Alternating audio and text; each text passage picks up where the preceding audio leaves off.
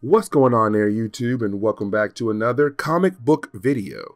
Alright, so we're going to do a newer storyline. We're going to cover Bloodline, the daughter of Blade.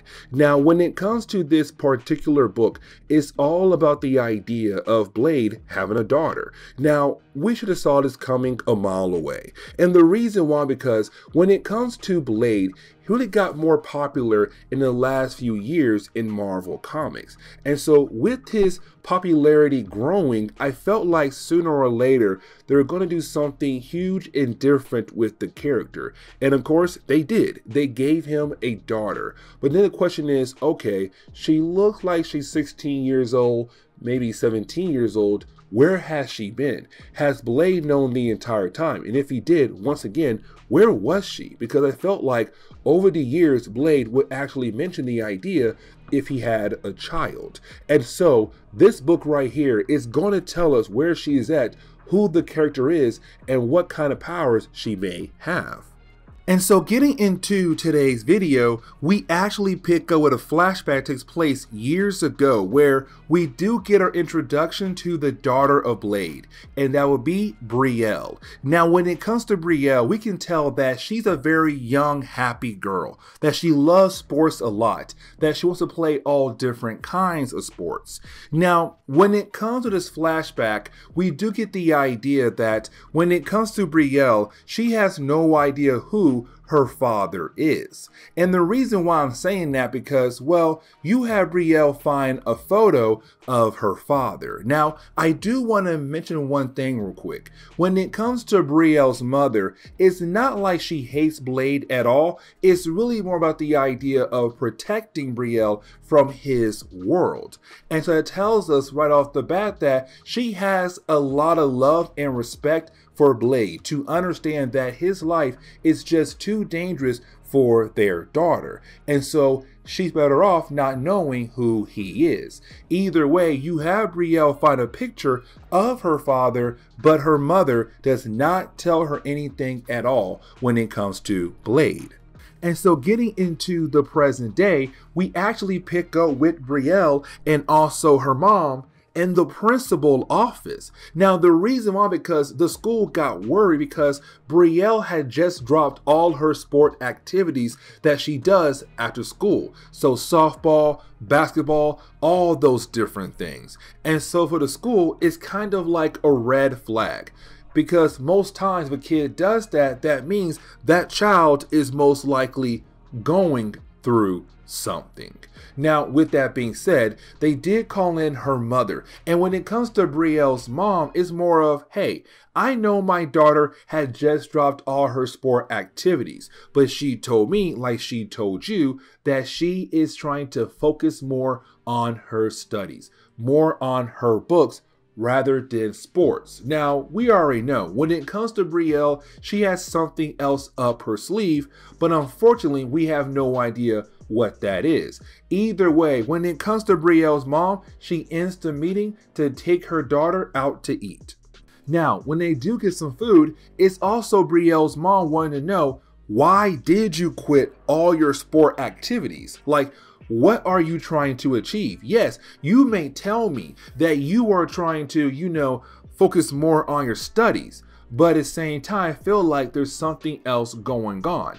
If there's not, then what are you going to do with all that extra free time? Now, when it comes to Brielle, she does not tell her mom nor us what in the world is currently going on. Either way, her mom does not budge. She's kind of like, you know what? Sooner or later, you're going to, to tell me. But for right now, I will let it slide. I'm telling you right now, sooner or later, you got to tell me what in the world is going on with you. Now, while you have the two ladies leaving the restaurant, well, that is the moment where they get attacked by a vampire. Now, this is actually a huge moment. And the reason why, because you have both ladies realize that the other person knows about vampires. Now, when it comes to Brielle's mom, yeah, it makes a lot of sense because she did marry Blade and they had a child together. Except for Brielle, it's kind of like, how do you know about vampires? What in the world is going on? Now, when it comes to Brielle's mom, she was trained by Blade, and so she knows how to defend her daughter against vampires, and she kills the one off just like that. But now it's time for the conversation. Except that conversation never comes. And the reason why? Because Brielle's mom is not ready to have that conversation yet with Brielle. But on top of that, we get the idea that Brielle still has no idea who her father is. The only thing she knows is that her dad is some brother because she saw a picture of him. And that's it, really. And so she's wondering okay, why in the world are vampires coming after me? Now, when it comes to Brielle, there's also a big question. How do you know about vampires? And she tells her mom about her powers, except that her powers only work at night, but sometimes only works on a certain kind of night. Like some nights her powers work, other nights, her powers don't work, and so she's very confused. But again, Brielle's mom is not ready to have that conversation to explain why vampires are coming after her for. But the next day, we do see Brielle go to school. Now, when she does go to school, it gives us the ability to see two of her friends, Jaden and also Rebecca. Now, when it comes to her two friends, they also have no idea about what's going on with Brielle. And again, that kind of makes sense because she has no idea what in the world is going on with her. Now, with that being said, that is the moment her class gets a new student, and her name is Whitney. And I'm going to tell you right off the bat that Whitney is going to be very important for the overall story. Now, when it comes to Brielle, she knows that it could be somewhat hard to be the new kid in the school, and so she tries to be Whitney's friend. Unfortunately, Whitney is kind of, you know, a bad word, I guess, I don't know, because she's like, I don't like you, I don't want to know you, please leave me alone, goodbye. And I'm kind of like, dang, cold shoulder right off the bat. But you have Brielle say, you know what, fine, I'll leave her alone. Now, when it comes to her friends, they're wondering, hey, are we still on for tonight? But unfortunately, you have Brielle say no. And the reason why? Because she has to handle some other kind of business that her mom does not even know as well. And that is when we kind of find out that Brielle is going vampire hunting. Now, we also kind of find out that this is not her first time doing this. Matter of fact, after her powers had manifest the first time, she has been trying her best to figure out one, about her powers, but two, why are these vampires coming after her? And so she does go over to an abandoned house. Now, when she does arrive, that is the moment where she is attacked by some random other person. Now, at first, you would believe that it would be a vampire who is coming after her. But unfortunately, it is not a vampire, it's a human. But as the fight goes on, well, we kind of find out who is the other person. It's Whitney, the new kid in her class. And the question is right now, why is she trying to come after uh, Brielle for? But then we have to jump over to Blade. Now, when we do, it's really more Blade just, you know, killing off vampires left and right. A usual Tuesday for him. Now, while doing this, well, that is the moment where he gets a phone call. Now, when it comes to his phone conversation, we get the idea that he had another assignment to handle, but unfortunately, he has to cancel that other assignment. And the reason why? Because he got a call about his daughter and what she is going through, which means it's time for Blade to go be a father and help his daughter understand the world that he lives in. Now, that is when we jump into the second chapter. Now, when we do, we actually pick up with Brielle still fighting against Whitney. Now, while you have the two characters fighting against each other, that is when we come to find out why Brielle is being attacked by Whitney because we come to find out that Whitney is actually a vampire hunter. And the thing is, she got word that Brielle is part vampire. Now, with that being said, guys, we have to remember that Brielle is still kind of learning about herself, about her powers, about the idea of what she could possibly be. She has no idea that she's actually a vampire. And so while you have Whitney trying to attack her, it's Brielle saying, hey, stop. I have no idea what in the world is currently going on. Now, here's the thing, because as the fight goes on, Brielle goes into some kind of frenzy because she's a vampire, she wants blood. Now again, she's only part vampire, but that small part still wants to have some blood to drink. And so because the battle went on for so long, it kind of put Brielle in this kind of rage, this frenzy looking for blood. Now once you have Brielle calm down, well, she blacked out completely when she had entered that rage mode. Either way, the house they're in is beginning to burn down. And on top of that, the police are about to arrive. And so the two characters have no choice but to go their separate ways. Now, the next day at school, we do see Brielle go to meet up with Whitney to kind of get the idea of what in the world is going on with that character. Like, hey, how in the world are you a vampire hunter? How did you know that I was a vampire? Now, here's the thing.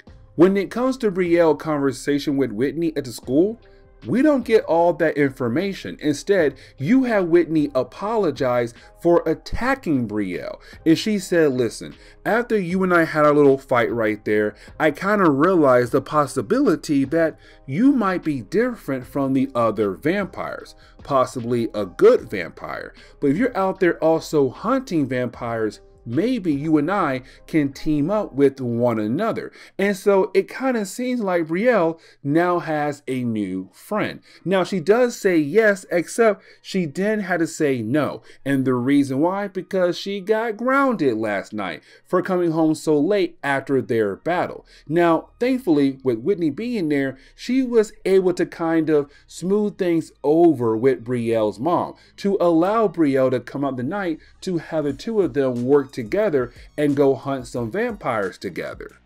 Now, when it comes to our two characters, they do meet up at a nest for vampires, meaning that that particular building they're in right now will have a huge amount of vampires currently hiding inside of it. Now, when it comes to Whitney and also Brielle, they're going to team up and try to work together to, well, of course, try to kill off some vampires in this building. Now, while you have the two ladies talking to one another, we kind of learn a tad bit more about Whitney. And she tells us that her parents died 10 years ago. But after that, she was taken in by a hunter. Now, after that, you have the two characters try to bond with one another, to understand one another. Except here comes the problem.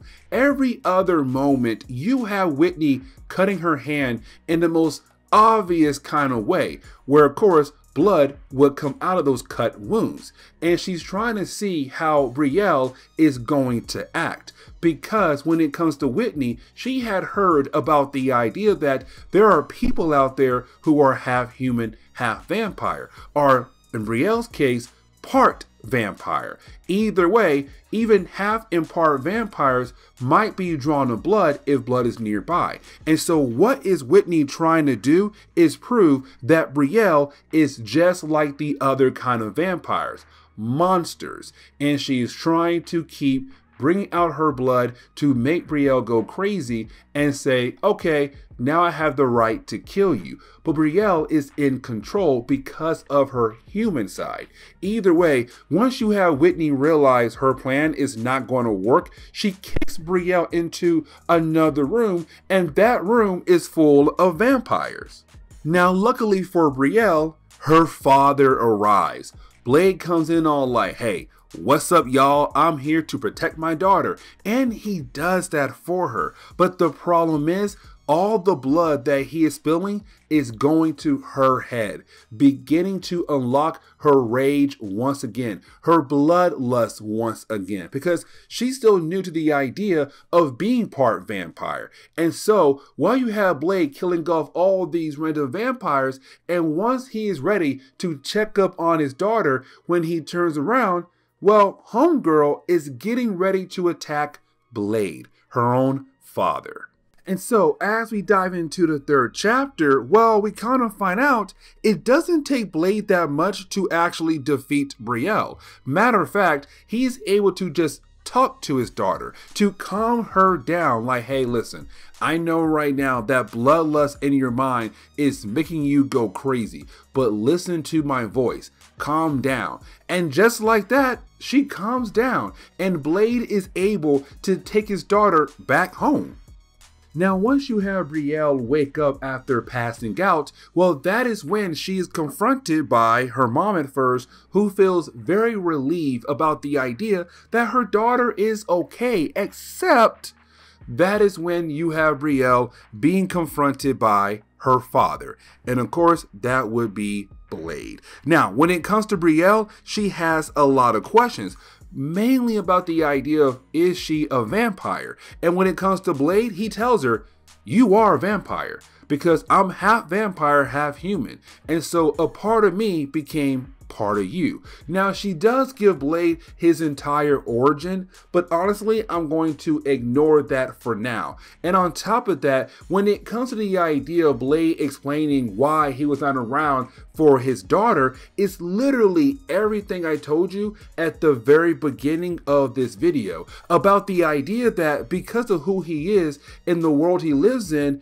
it was best for him to leave his daughter behind hoping that she'll be protected. Now, there is something else I do want to mention. Around this point in time, Doctor Strange is dead.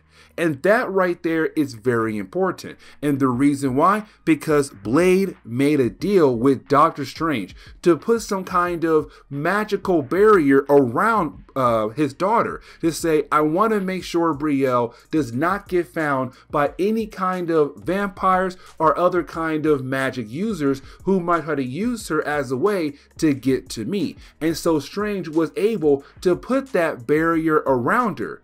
But he died. And so that could explain the idea why all these vampires are beginning to find her and come after her to get to him. Now, with that being said, when it comes to Blade, he also heard that Brielle does have powers, powers that are similar to him. The problem is, though, those powers are not working properly. And so when it comes to Blade, he's kind of like, okay, I have to train you not to learn how to use your powers, but how to protect yourself just in case your powers are not there to help protect you.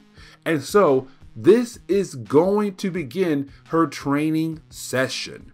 But before he goes around and train his daughter, he begins to go around town to gather information about Whitney. Because yes, you do have teenagers do some crazy things like hunting down vampires. But the thing is, most teenagers unfortunately do not survive those kind of situations. Except Whitney has been. She has been going around killing all vampires left and right. And so that is not normal. And so when it comes to Blade, he wants to know more about Whitney. And so he goes around asking different vampires if they have any kind of information about Whitney, this teenage vampire hunter. But unfortunately, they don't have much.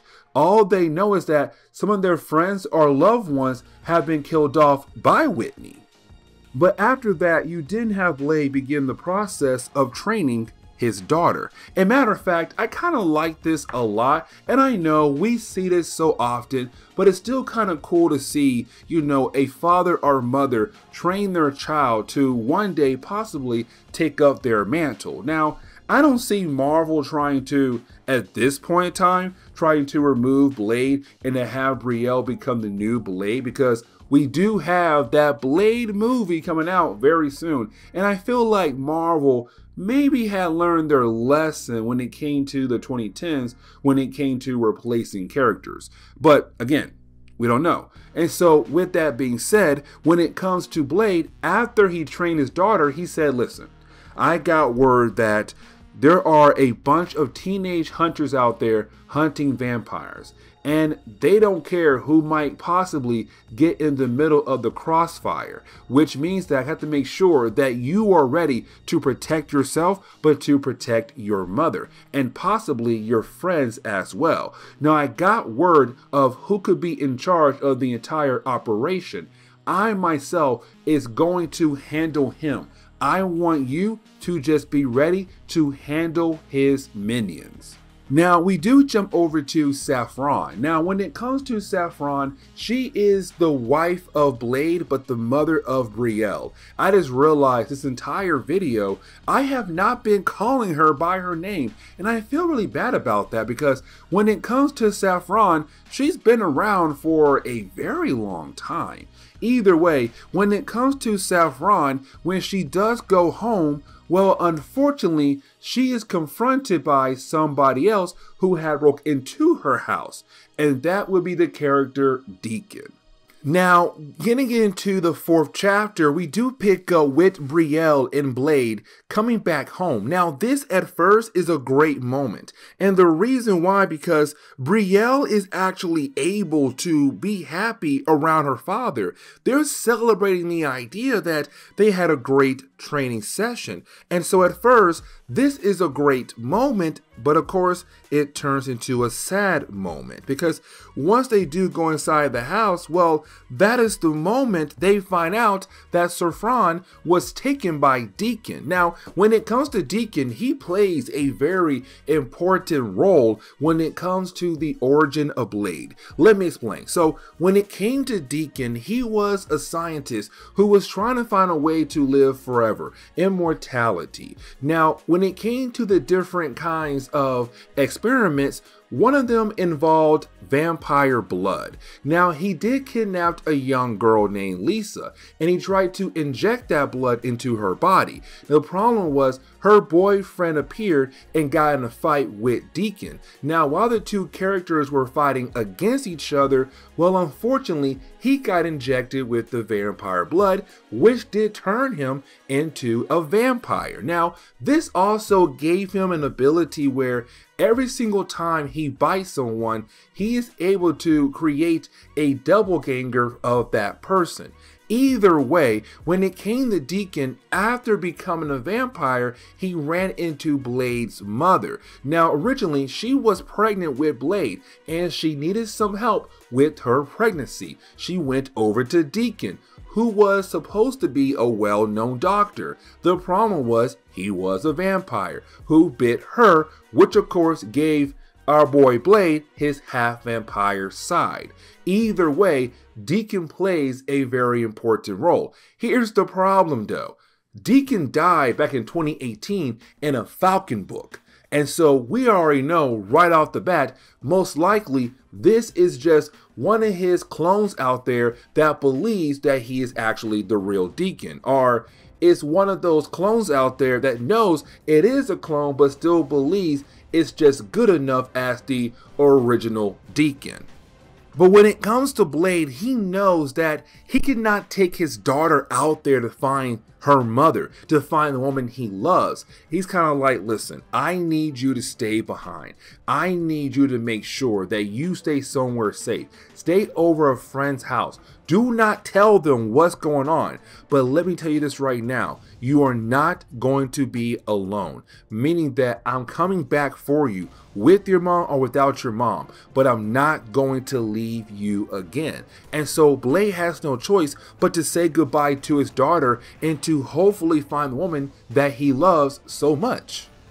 Now, when she does go to school the next day, she tries her best to play it off, but her friends kind of know there must be something going on with her. But again, it is Brielle saying, I cannot tell them what in the world is currently going on with me. Now, here's the thing they do bump into Whitney. And by this point right now, her and Whitney, they have bad blood between each other because one, Whitney is a teenage vampire hunter who had tried to kill Brielle not once but twice now. But at the same time, there is a possibility that maybe Whitney has something to do with, well, Brielle's mom being kidnapped. And so it's Brielle saying, you know what? I'm going to follow her.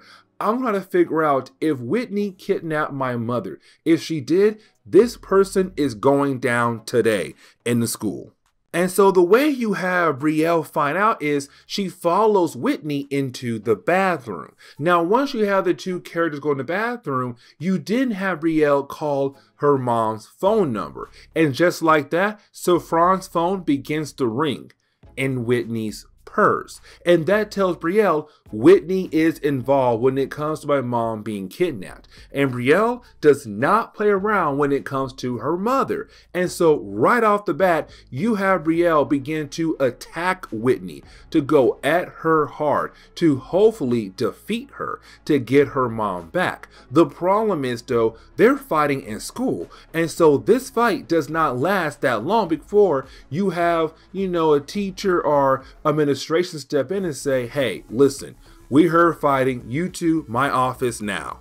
But getting back over to Blade, you have Blade being able to locate where those vampires who had most likely kidnapped Saffron, of course being Deacon, over to a nearby cemetery. Now when you have Blade arrive, he is confronted by the clone of Deacon Frost. Now the reason why I say it's a clone because again, the original Frost died back in a Falcon book back in like 2018. Now again, this is Marvel Comics, so characters do not stay dead forever, but it's the whole idea that, hmm, could this be the original one? But Blade said no, it's not him. It's honestly a clone that believes to be the original of course, Deacon Frost. Now, when it comes to our hero, he is ambushed from behind to the point where he is attacked to the point where he is knocked out. And so now Blade has also been taken hostage. Now, getting back over to Brielle real quickly, we see her outside of school, but she is confronted by her two best friends. Now, this is the point where she has no choice. She has to tell them what in the world is going on because they just saw her attack Whitney in the bathroom. Why in the world would she do that for? Now, when it comes to Brielle, she does not tell them anything at all right now. And the reason why, because she has to ask them for a favor to help her get away from the school to hopefully find her mother and father. And then on the way there, she'll be happy to tell them everything they need to know about her. But getting back over to Blade, we kind of see that Blade is now a hostage, but we also see that Saffron is still a hostage and alive. Now, with that being said, though, we kind of find out what the clone of Deacon Frost is trying to do. And what I mean by that is his main goal is to do some kind of ritual where him and a group of vampires will gain the ability of Blade. See, when it comes to Blade, he's half human, half vampire, which of course gives him the ability to walk in the daytime.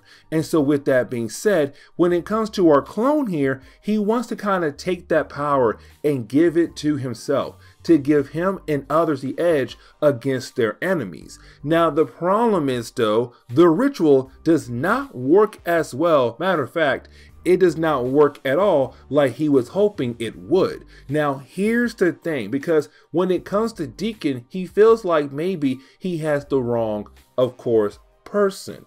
Maybe he needs Blade's daughter to be able to actually pull off this ritual. Now, in the heat of the moment, Saffron was able to get away, and Blade tells her, Go to where we train at. Now that is very important because it's Blade hoping that Brielle will also go there as well. And Brielle and her mom will be able to meet up there. Now when it comes to Deacon, he's all like, listen, we have no idea where they might go. But if we follow them, we might be able to ambush Saffron, but to also get Blade's daughter to hopefully complete our ritual. And so when we do pick up with Brielle, she's with her friends, and her friends had just been confronted by, well, we have no idea who. And so then we jump into the final chapter. Now, when we do, we see that Brielle and her friends are being confronted by, well, her mother, Saffron, who was able to get away. Now, here's the thing though, because by this point, when it comes to Brielle, she has no choice but to go ahead and tell her friends everything about what in the world that is going on with her. Because in this chapter, in the last chapter, really the entire book, a lot of different things happen. And so she has no choice. And so she does. She tells them everything they need to know. Now, here's the thing because when it comes to Saffron, Brielle's mother, she's all like, listen, I know Blade, he'll find a way to get out of that tight situation. Except when it comes to Brielle, she kind of wants to get revenge because one, they kidnapped her mother, and two, they now have her father, and three, they're not going to stop coming after them until this whole entire situation is actually handled. The problem is though, while you have Brielle trying to find different kind of weapons that could have been left behind by Blade, well, she is confronted by Whitney and some vampires who had came alongside with her.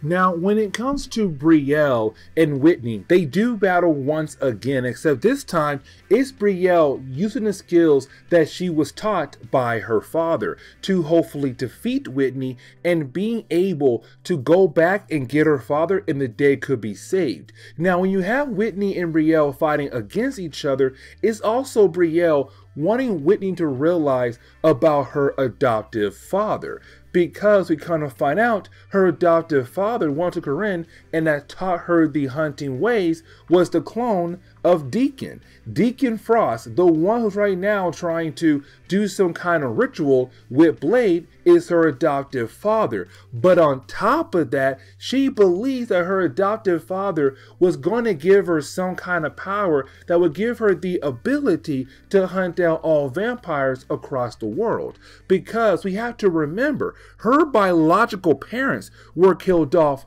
by vampires. And so this is her saying, like, no, I need to go ahead and get this ability to get my revenge. And if I have to work with someone who is a vampire, but who had taught me the ways of how to hunt down vampires to get what I want, then I'll do what I have to do. But you have Brielle say, your adoptive father was not going to give you any kind of power at all. He was trying to pull off some kind of ritual to make him and some others around him stronger. Now, you do have Brielle being able to defeat Whitney, but now her goal is to save her father.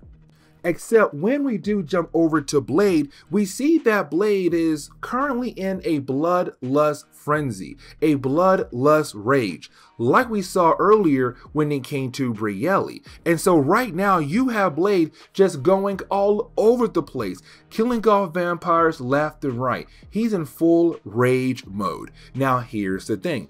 Deacon is actually enjoying this a lot. And the reason why? Because when it comes to Blade acting like this, Blade can no longer say that he is different. See, when it comes to Blade, he put himself on a higher pedestal. Kind of like, hey, you know what? I'm only half vampire, half human, but I can control my hunger for blood. But on top of that, I can walk in the daytime. Now, with all that being said, with Blade acting like this right now, He's just like other vampires. And so the Deacon, he is just another monster. Now, when it comes to Brielle, she does arrive with Whitney. Now, guys, remember, Deacon, the clone of Deacon, is the adoptive father of Whitney. And so it's Brielle saying, I have your daughter here. If you want her back, you are going to have to help my father and calm him down, but to let us go. Kind of like a bargaining chip. But the problem is, Deacon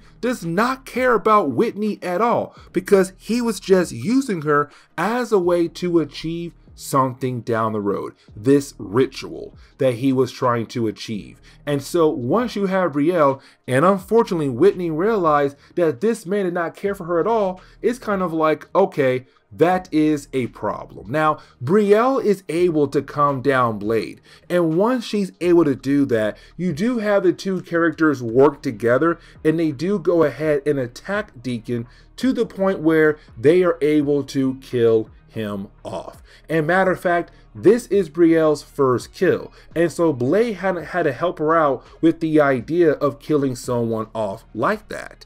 Now, once that's done, the day is saved, and now they can go back home and relax.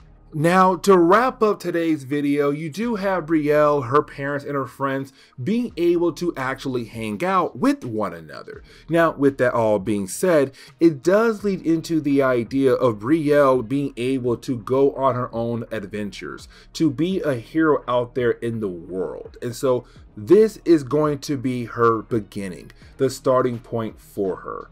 And honestly, that is the end for today's video. So please leave me a like down below and subscribe. But guys, see y'all next time. Later.